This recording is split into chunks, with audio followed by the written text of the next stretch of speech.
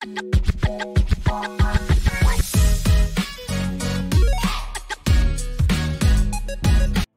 hi guys welcome back to my channel so guys जो आज की वीडियो है ना, बहुत ही ज़्यादा इंटरेस्टिंग होने वाली है, क्योंकि सो जो भी मैंने अभी तक आर्ट वर्क्स किए हैं ऑयल कलर हो गए स्केच हो गए, है ना, वो मैं आपको दिखाऊँगा, है ना। सो बहुत तो अच्छा लगता है ना कि हम अपने पुराने वर्क्स देखते हैं और अपनी इम्प्रूवमेंट जो होती है वो पता लगती है हमें वो कि कितनी हमारी इम्प्रूवमेंट हुई है ना? सो so, मैं आपको सारे अपने आर्ट वर्क्स आज दिखाऊँगा। ज़्यादातर मैंने कलर्स में ज़्यादा किए हैं स्केच मैंने कम किए हैं। अच्छा लगता है गाइस क्योंकि हम अगर हमारे जो हमारे पुराने आर्ट वर्क्स होते हैं उसको देखते हैं हमारी इम्प्रूवमेंट हमें पता लगती है हमारी कितनी इम्प्रूवमेंट हो रही है।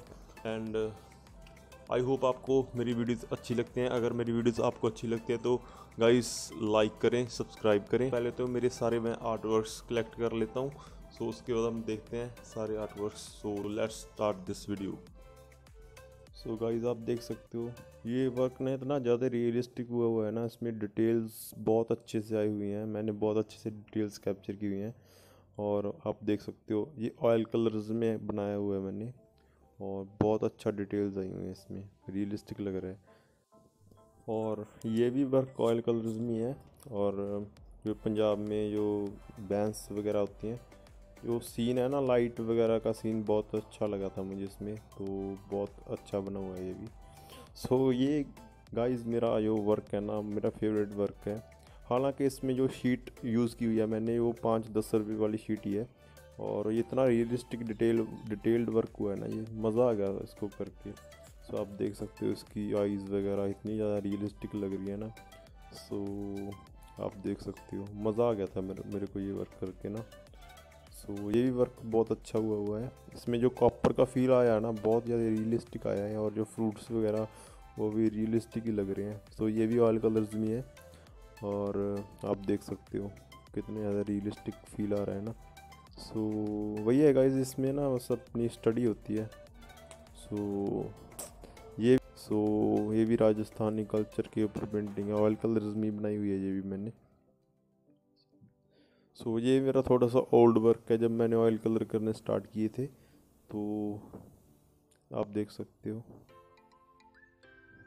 एंड सो so, ये भी वर्क मेरा आज से डेढ़ साल पुराना वर्क है। ऑयल कलर में किया हुआ है। सो ये भी मैंने गूगल से रेफरेंस ली थी और इसको बनाया था। अच्छा हुआ है काम, ये भी बहुत अच्छा हुआ है। सो ये एक वर्क मेरा रिसेंटली है। सो ये मेरा अभी एग्जीबिशन में भी लगा था वर्क ये। सो कृष्ण जी की पेंटिंग बनाई थी मैंने। और ये थीम भी मेरी खुद की है। मतलब कॉपी वर्क नहीं है ये। थोड़ा थोड़ा मतलब इधर उधर से रेफरेंस लेके मैंने इसके ऊपर वर्क किया हुआ है। तो आप देख सकते हो अच्छा कॉम्पोजिशन तैयार हुई थी ये। सो so गाइस मैं अभी दिखाऊँगा अपने चारकोल वर्क्स सो so, ये भी सिद्धू मूसेवाला का मैंने अभी रिसेंटली इसको किया है मैंने चारकोल में. सो so, आप देख सकते हो बहुत अच्छा काम हुआ है इसमें ना. स्मूथनेस बहुत अच्छी आई हुई है. और और ये भी वर्क मैं सेल्फ पोर्ट्रेट कर रहा था छोड़ दिया था मैंने ये. आलसी होना बहुत ज़्यादा. और सो so, गाइस ये भी आप देख सकते हो ना. सो so, इसकी मैंने ट्यूटोरियल वीडियो भी डाली थी यूट्यूब के ऊपर ही डाली थी. सो so, तब मैंने ये काम किया था। सो ये भी चारकोल में हुआ हुआ है। सो अच्छा हुआ ये काम बट इसमें मैंने टाइम इतना ज़्यादा नहीं दिया है ना? टाइम थोड़ा सा कम देता हूँ वर्क को। मतलब मैं लालच कर जाता हूँ वीडियो डालने की बट अभी ऐसा नहीं करूँगा मैं। सो so, ये भी वर्क मैंने यूट्यूब के लिए बनाया था ए फोर शीट के ऊपर। तो देखो एंड ये भी वर्क मैंने यूट्यूब के लिए बनाया हुआ है। और गाइज़ मेरे ना बहुत ज़्यादा वर्क मतलब घर पे पड़े हैं मतलब मुझे पता, मुझे मुझे खुद नहीं पता होता मेरे वर्क कहाँ कहाँ पड़े हैं। ये भी मैंने बहुत मुश्किल से ढूंढे हैं इधर उधर से। सो मेरे से ना मतलब वर्क संभलते नहीं है इतनी ज़्यादा। सो ये भी वर्क देखो ना। सो बहुत ज़्यादा वर्क पड़े हैं मेरे पास। घर पे मेरे पास है ना एक पूरा जो कबर होता है वो भरा हुआ है मेरे वर्क से।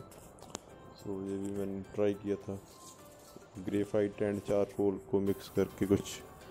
एंड एंड आप देख सकते हो ये मैंने पेंसिल कलर्ड पेंसिल नहीं होती उससे ये वर्क किया हुआ है। सो so, मैंने ना कभी कलर पेंसिल से वर्क नहीं किया था बट अभी मैंने थोड़े टाइम पहले स्टार्ट किया है कलर पेंसिल से वर्क करना। सो so, बहुत मतलब टाइम टाइम देना पड़ता है कलर पेंसिल्स को। मतलब काम बहुत अच्छा हो जाता है इसमें ना?